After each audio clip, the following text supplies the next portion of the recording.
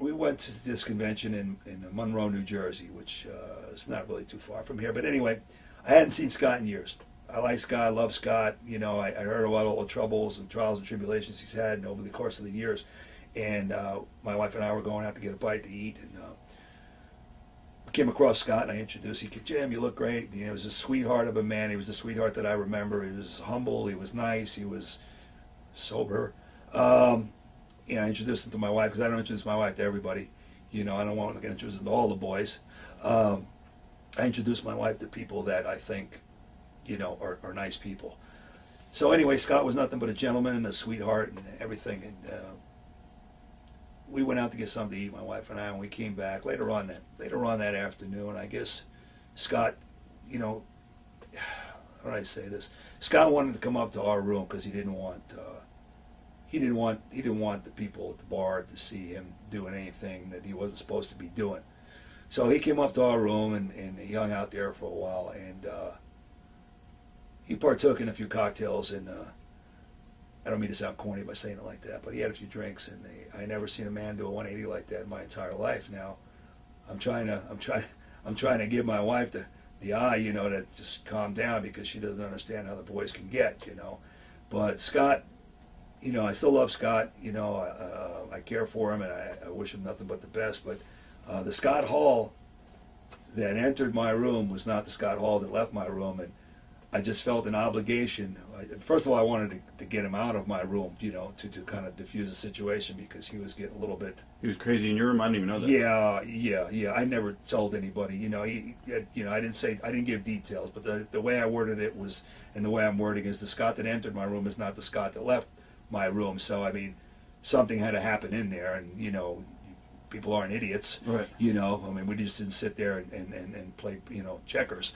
Um, but anyway, his personality changed considerably. I mean, he did a 180, and I just wanted to get him out of my room. So we all three we all down to the elevator, and just so happened where the elevator was, there was a side door. Scott saw a door and said, "Fuck it, I'm going through it."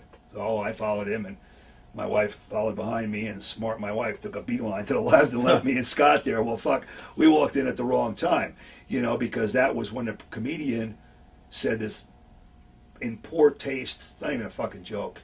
He said the Iron Sheik's career fell faster than Owen Hart. Well, fuck, I'm sure because I know my toes curled and my fingers just like just clenched up, and I'm sure everybody in that room felt the same way and there was a dais with about I don't know maybe 15 or 20 people on there, wrestlers and former wrestlers and all that stuff.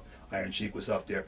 Scott heard that, and he bolted towards the stage. He grabbed that fucking comic and put him up against a wall, and the guy's feet were fucking dangling, you know. So Scott's got him up there. Finally, drops him. He didn't hit him or nothing, but he had him up there pretty good. Now, he drops the guy, grabs the mic, says what he's got to say about Owen. He puts Owen over now. He's doing his little he's now he's kind of like kicked into a razor character, and he's got a little slur going on. So I mean, that's it's apparent what what he was doing prior to walking in the room. So I'm trying to get him down a little, just you know, by holding his hand because I don't want to get into a fight with Scott. You know, um, I'm trying to get him down and calm him. And the promoter that's running the convention, he's coming up, Jim, you got to help us. Jim, you got to help us. Okay, Scott, come on, Scott, come on. So we get him down off the dais or the stage, whatever you want to call it, and uh, now the people they loved it. They yeah. popped for it, right? So listen, everybody, everybody probably would have wanted to kick the, the, kick the comic's ass, but Scott acted on it. He didn't kick his ass. He, you know, he put him up against the right. wall. Yeah. So now he said what he had to say. He made his point. Put a period at the end of a sentence. That was it.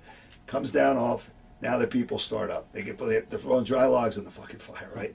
Razor, razor, razor, razor. Well, there he goes again, back up to the stage, grabs the mic, cuts another little promo, and did all we could to get him down, you know, without being real physical.